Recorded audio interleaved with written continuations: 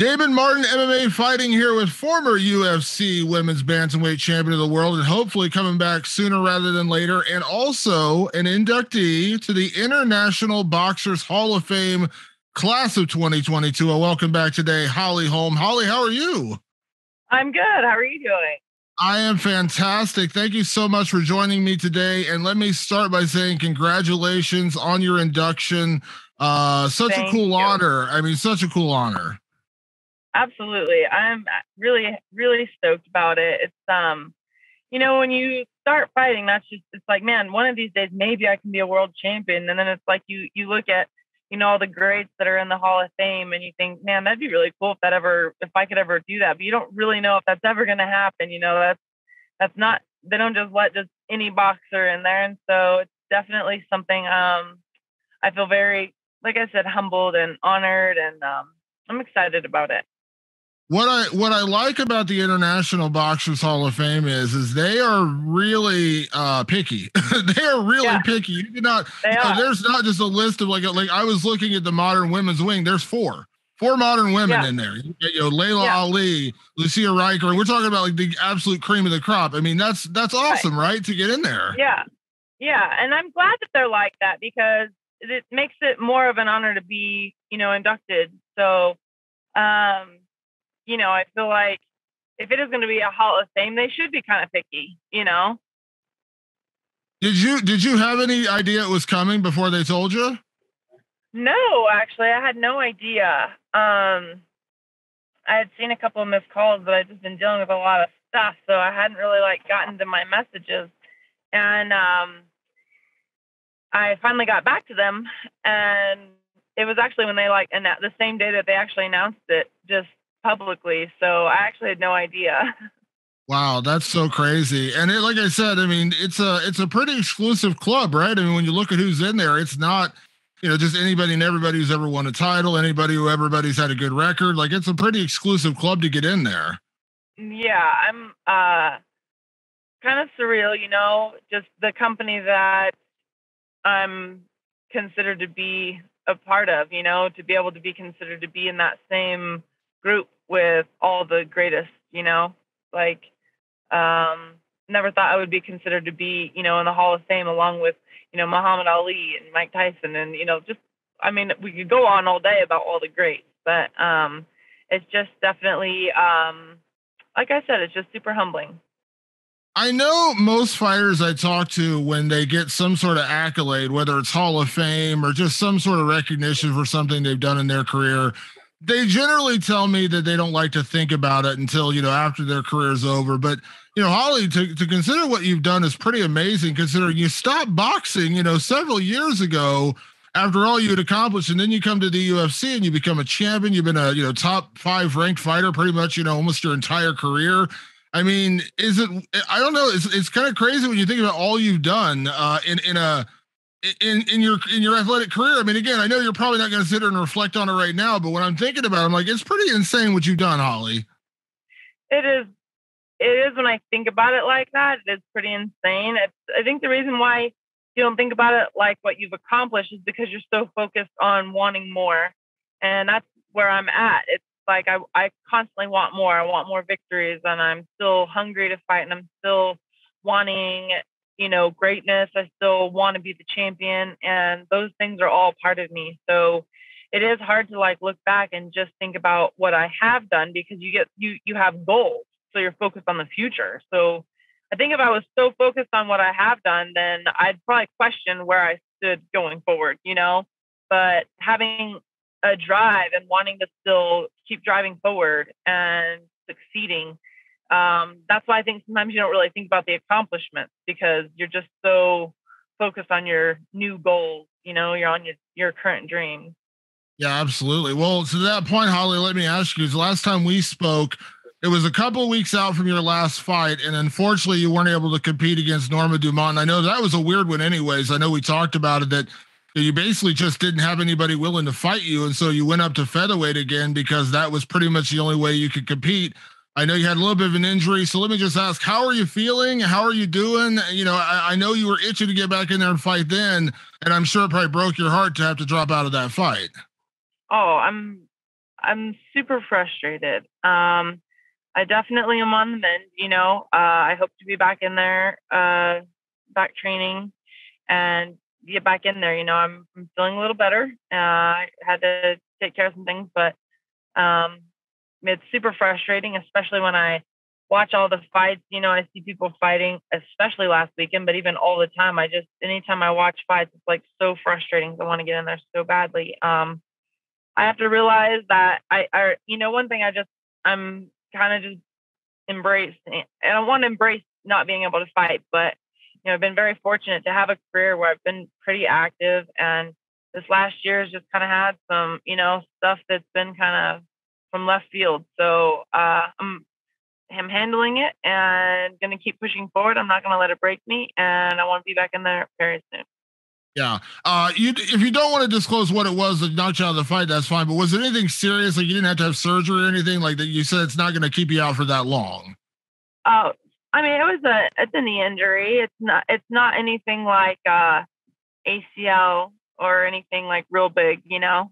Um, it's minor stuff like scope stuff, so it's definitely not like a huge recovery. Um, so it is one of those things I I expect to be back training in a month, but um, I mean I'm already being slightly active on it now, so I just don't want to like false promise. I'm just letting things I'm taking it day by day, but um, I do feel like I'll be back into full full training soon.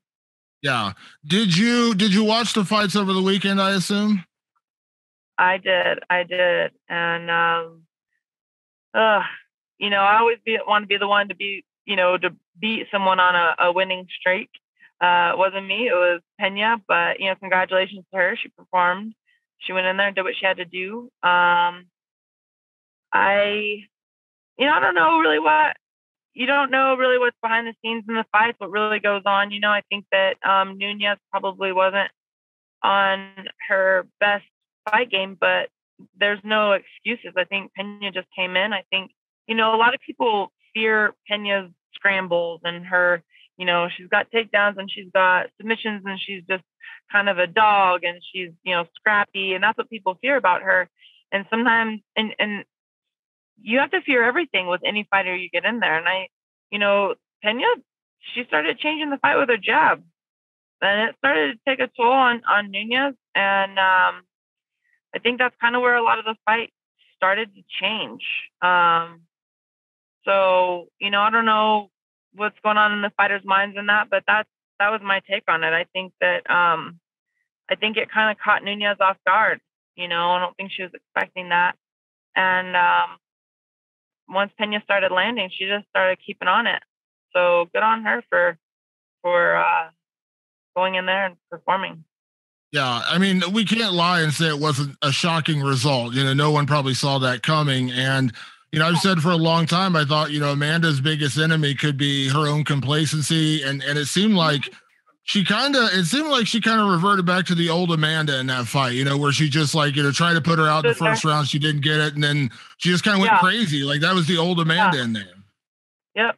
I agree. I agree. I think um, you know, that second she dominated I mean not dominated, she did she she won the first round. I had Amanda winning the first round. Um, you know, even on the ground, she was on top of Pena. Pena couldn't really do a whole lot. Um, and then when the second round came, I think maybe because it didn't go as the first round planned, then it kind of just caught her in her tracks, and they did. She just she didn't change her game plan.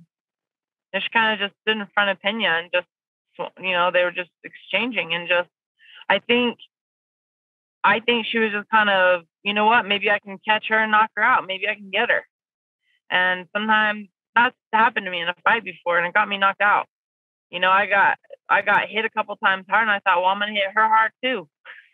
like, lost all of my focus, you know. So, and like I said, who knows what really happened uh, in the fighters' minds? Only they know. Um, so I'm not gonna say that Amanda wasn't, you know. It, a lot of times I've fought people before, and it's like, oh, they weren't themselves that night. It's like, no, I didn't let them be themselves. I took them out of their game plan. So there's there's credit on both sides that way, you know. It's like you can't really say like, oh, Nunes just didn't show up. Like, well, Pena performed. I mean, that's it's one of those things that, and listen, there's always going to be stylistic matchups that are going to be bad. Right. Like, you know, I think like if you like, you know, when you beat Ronda Rousey, everyone said, "Oh my God, it was this massive upset, whatever." And afterwards, I said, if Holly and Ronda fought ten times, I think Holly would beat Ronda ten times. Like I think you are you were always just a really bad matchup for her. Yeah. And I don't I don't know that Julianna will beat Amanda in the second fight, but I think the way she right. fought her and, and she got in her face. I mean, again, sometimes that gets I don't know. We'll see. Can Amanda come back from that? That's a big question now, I guess. Right. And I think that is a big thing too, uh, when a champion gets beat. And I mean, don't get me wrong, Amanda won the first round, but second round she got pretty handled, you know. Um, and there's always the mindset coming back from something like that. I mean, Amanda's had losses and, and had to obviously come back because look where she got to. She's been the champ for a while, and uh, I take nothing away from Amanda and what she's done. Um, but that definitely, um, you know, Pena was in there to fight, and she wasn't scared to take one to throw one. And sometimes that's what it takes to get in there and just and land the right shot. Yeah. I know this is really difficult for you, Holly, because you're still coming back from your injury and still looking to fight next year. But I know because you were scheduled to fight Julianna, and I know you wanted that fight. And and I know yeah. when we spoke before the last one, you were I won't say frustrated, but maybe a little frustrated that like yeah. just kind of slid into the title fight without yep. actually you know winning another fight. Uh, yeah. Again, you got to focus on yourself right now. But how much does that fight fire you up to want to get back in there? Because it feels like oh, you know, yeah. if not for the rematch, like you could get Julianna Pena right now. Honestly. Yeah, it's honestly that's a very feasible thing. You know you never know what's going to happen. They're going to, are they going to say, hey, let's rematch right away? There's even times a fighter will say, you know what, I need a little more time before a rematch, or I need this, or I need that. So you never know what's going to happen. So yeah, super frustrating. Uh, I plan on being right back in there. You know, I want to be able to say, hey, I'm ready to fight whoever, whenever, and um, and I'm real close to that. So uh, I am excited that I'm real close to it. But um, yeah, super frustrating. That's for sure. I probably know the answer, but I'll ask it anyways. Because again, we don't know. I know Amanda has said she wants the rematch. It seems like it would make sense. Okay, that's great. But again, timing, injuries, family, all these things could play in. If the UFC called you in like a month and said, "Hey, do you want to fight Julianna?" Can I imagine you would say 100% yes? That's what I would want to say. Yeah, that's would be awesome. yeah, absolutely. Well, again, and I know it is, I know that's the tough part because you are the number one ranked fighter out there and there's only so many options for you. I know that was kind of the frustration with absolutely yeah. nothing against Norma Dumont. I'm not taking anything away from right. her, but Norma yeah. Dumont was just the only person who would fight you. You know what I mean? Right. Like that was pretty much yeah. it, right? Yeah. And and don't get me wrong, Pena did say yes to the fight. You know, I had my whole kidney thing. So, but you know that that was only like a six week ordeal, and I was hoping to have had that fight. You know, and then after that, it's just kind of everybody kept calling out the champ, calling out the champ, trying to jump past me, and you know I can't complain. I wasn't able to take that fight, and so you know uh, I I have to just train and fight and earn my spot, and um, I just hope that happens. Yeah, yeah. Well, I looked before we talked. I don't generally look at rankings and things like that because, again, where you're at, there's only so many options. But if you don't get Pena, uh, and I think that would be a great matchup depending on how fast Amanda wants to come back. But again, there's only a couple options out there for you. But hopefully, this time around, whether it's Miesha, Aspen, or I would say Ketlen Vieira was the other name I saw there, one of them will say yes, and that will be your next opponent. Yeah. So you can at least at that point earn your title shot, right? Yeah, I feel like honestly anything can happen. Anything. I feel like it could be any of those names, all the way from Pena down to you know, Miesha, Vieira, Aspen. Like all, I feel like it could. You know, anything can happen, and so I just want to be ready for any of it. Would you, at this point, considering we just had the shakeup at bantamweight, would you say that you'd rather not do the featherweight thing again? I mean, I know you took featherweight only because that was the only option available to you that's a lot of you know when I fought at featherweight, that's kind of been usually the case. You know, I'm I'm always open to any fight, and that's why I took it. But um, if there's another opportunity that makes more sense, then yeah, that's what I'm going to take.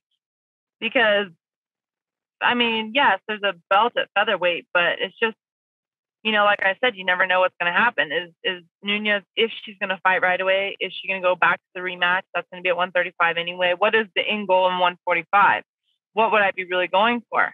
You know, that's when I want to focus on 135, which 135 is where I I like to be anyway. I mean, that's my that's my weight class, but it's just yes, I fought at 45 because I'm open to both because I want I want to fight. But yeah. yeah, it makes more sense for me to fight at 135.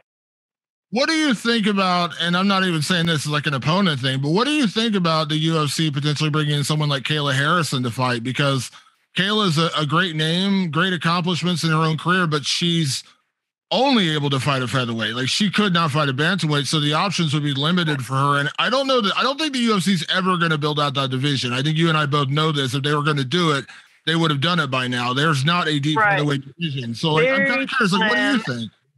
Yeah, and I honestly, I think doesn't um doesn't Kayla fight at 55? Like she'd have to like even get down to 45. So then you've got like a big 45er and then like 35ers that might want to come up, maybe. You know, there's always that. So um I don't know. I don't know what they're planning on doing with her coming over if she's coming over. You know, I feel like we'll just have to see how that plays out. If she really wants to come over and fight at you know 45 if that's something that she thinks she can do or not i'm not sure yeah. Uh, before I get you out here, Holly, two things I want to I want to close out on. You know, we talked and kind of started the conversation with boxing, and I want to go back to that because, you know, I know you're not super super present on social media, but you know, sometimes I'm sure people ask you this question or they or you hear about the question there's been this big debate recently about who is the best boxer in the UFC. And I'm sure you've seen it. You know, Max Holloway, I'm the best boxer. Conor, of course, thinks he's the best boxer. Now, to be clear, there's only one UFC fighter who is about to be inducted into the International Boxers Hall of Fame. So Holly Holm is the best boxer in the I UFC. Let's get that let's get that question out there. But I'm taking you out of the conversation because you are the best. You are the most accomplished. You are 100% the best boxer in the sport, period. Okay, let's just put that out there. But in your opinion, if you were giving me your opinion, if you're playing analyst, Holly, who do you look at who do you think has you know really good boxing, crisp boxing? Because we always have this debate, and there's all these different people, Petr Yan and and all these guys out there. I'm curious who you like. Who do you look at and say that's a really, really good boxer?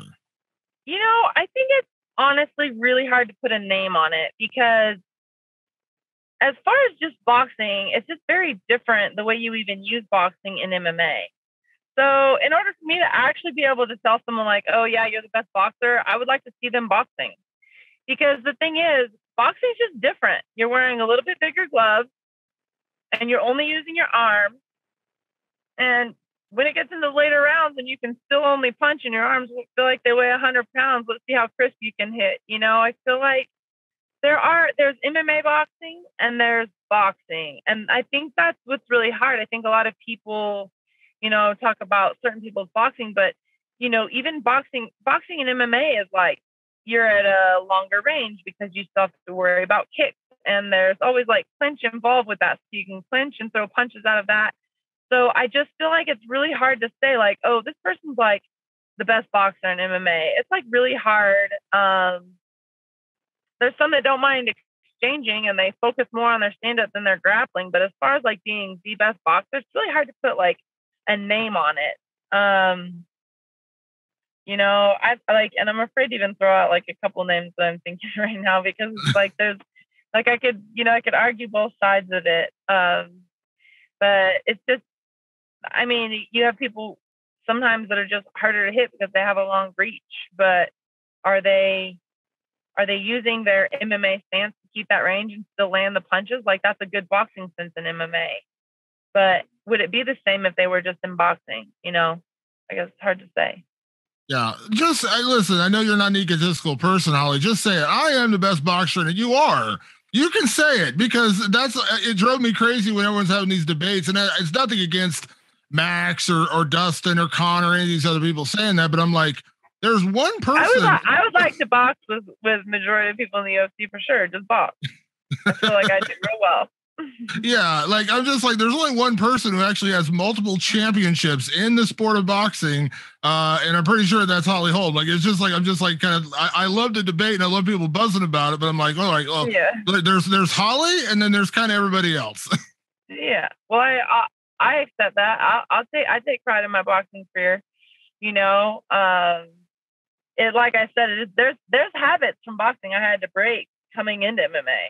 You know, I had to not, you know, boxing, you can stand real close to someone and still throw uppercuts and hooks and not have to worry about anything else. You know, you start doing that in MMA, it's like, oh, they're on my legs and they're taking me down. Shoot. you know, yeah. like they're they grab onto you and clench onto you. So things are just different. It's just, you know, I would really like to actually see some of uh I like a lot of these MMA fighters do have boxing because they they that is part of mixed martial arts. That is an art that is part of mixed martial arts.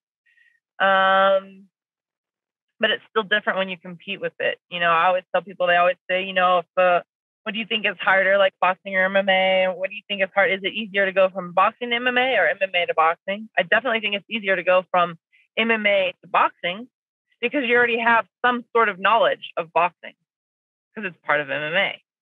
Yeah. But to go from M- boxing to MMA, you only know boxing, and now all of a sudden you got to learn everything: clinch, ground game, wrestling, cage work, stand like all of it. You know, kicks, like it's knees, it's everything, elbows. Like there's so many things you have no knowledge of. To go MMA to boxing, you at least have some knowledge of boxing, but it's still different. Yeah, and everyone that says who's the best boxer, again, what boxing are we talking about? Are you talking about actual boxing? Are you talking about MMA boxing? There's a difference. Right, that's different. Yeah. It is that's yeah. different. Yeah, and I and not to use this as a bad example because she, she's your teammate, so I'm not trying to take a knock on her. But we had this conversation last time. Claressa Shields, incredible athlete. I mean, incredible boxer, mm-hmm. arguably one of the best in the world right now. But we just saw, you know, it's not easy. It is not. E- you not are kind of you are a unicorn, Holly. You are literally the only person who's really done it at that level.